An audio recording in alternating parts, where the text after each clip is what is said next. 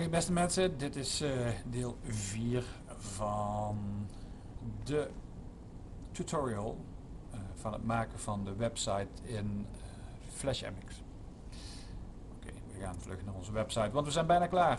We hoeven nog maar een klein beetje code toe te voegen. Mm -hmm. En dan is de website klaar. Ik uh, pak even mijn boek erbij op bladzijde 26 en dan staat daar ergens klik eenmaal op de knop home. Klik eenmaal op de knop home, kun je dat zien? Nee. Even wijzen. Klik eenmaal op de knop home. Dan gaan we beginnen. Oké, dat is niet hier bovenin. Nee, dat is hieronder. In dat blauwe vakje. Klik. Daar moet ik klikken. Oké. Dan zie je daar een plusje in verschijnen. Dat is goed. Uh, dan staat er druk op F9 op uw toetsenbord. Nou, dat doe ik dan maar. Dan verdwijnt een stukje van je website. Is niet zo erg. En de actions kun je dan zien. Oké. Nou, je werkt al in de expert mode als het goed is. Expert mode. Dan klik je hier in dat uh, witte vlak. En dan tip je wat in jouw boek staat. Dus on press. En dan zo'n accolade openen. Die staat boven jouw enter toets. Even laten zien.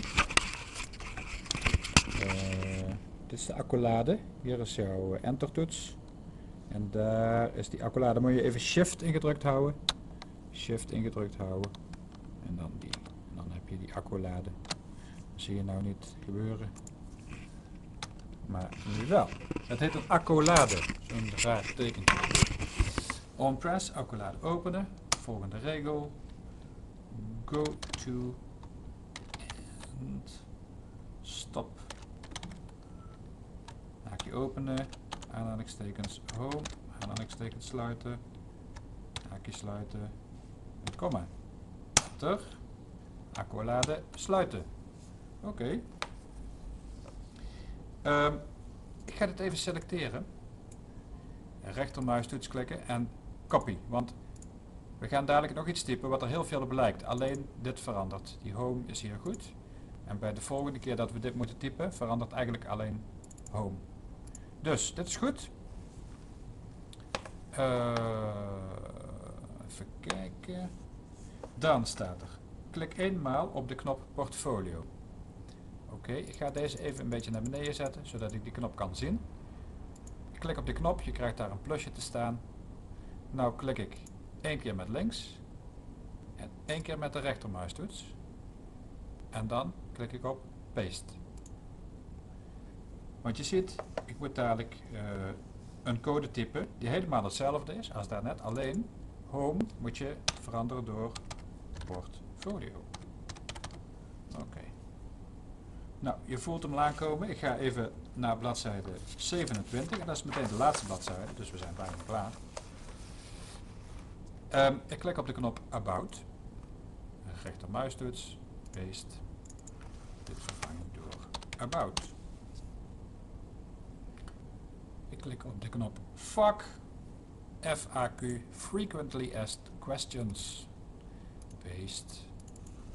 FAQ. Hoppakee. en tenslotte contact, rechtermuistoets, paste, contact.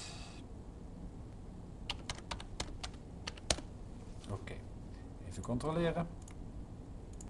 Ziet er allemaal goed uit. Wat betekent dit nou?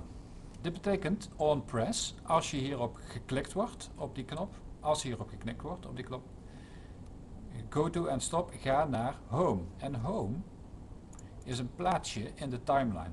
Home staat namelijk hier, dus dan gaat hij hier naartoe. En daar staat jouw tekst over home. Zo werkt dat. Oké. Het is tijd om de bestand op te slaan. Dat staat in jouw boek. Klik op File, Save. En daarna op File, Publish. dat uh, 7 is, uh, dat ken je wel, dat is gewoon opslaan.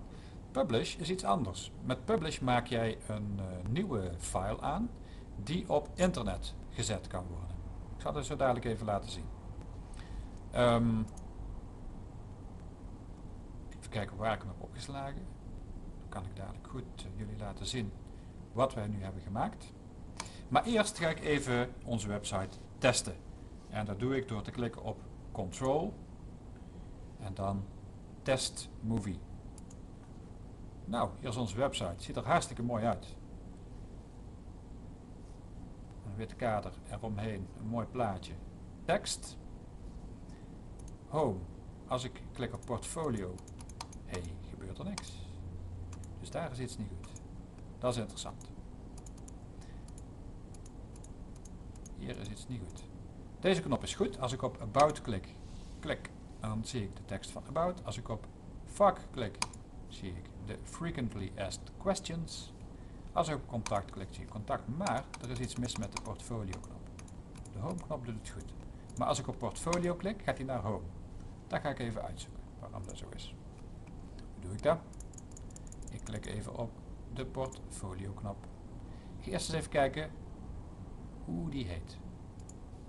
Heeft geen naam. Oké, is dat normaal? Ja, want die heeft ook geen naam. Die heeft ook geen naam.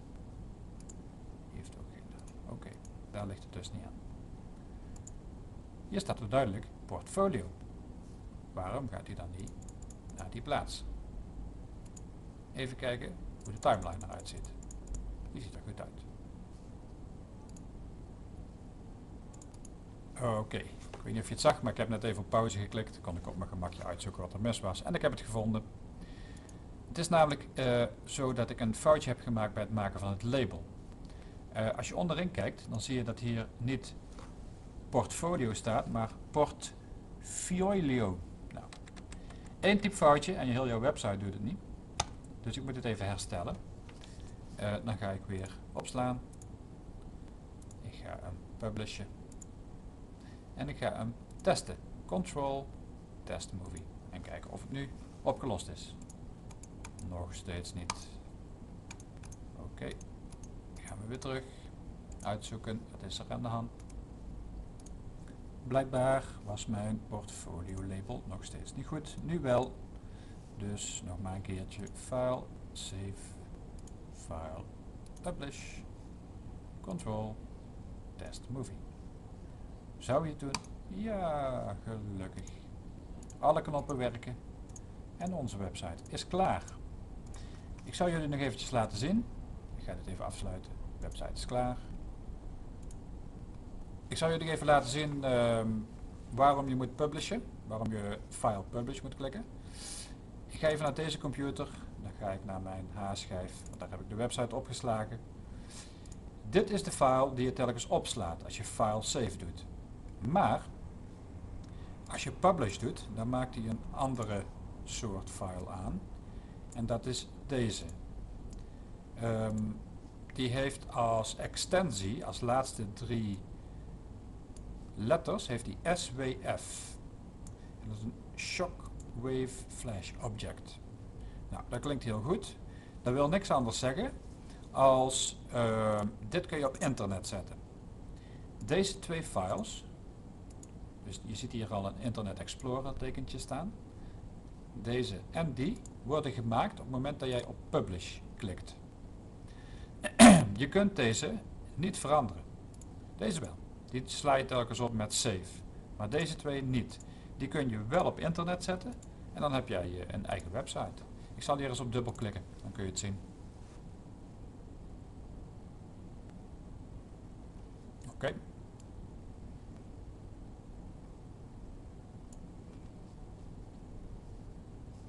Je ziet, hier is de website en zo komt die op internet te staan.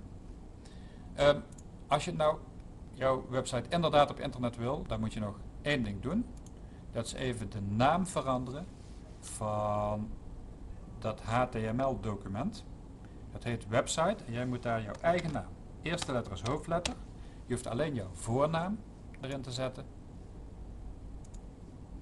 En dan ga je hem opslaan. En dan moet je dit even op een memory stick zetten. Vraag die maar even aan jouw docent.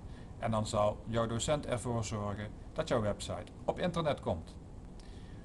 Oké, lieve mensen, dit was eh, de tutorial. Ik hoop dat het allemaal goed gegaan is en eh, ik zou zeggen tot de volgende keer. Doei doei.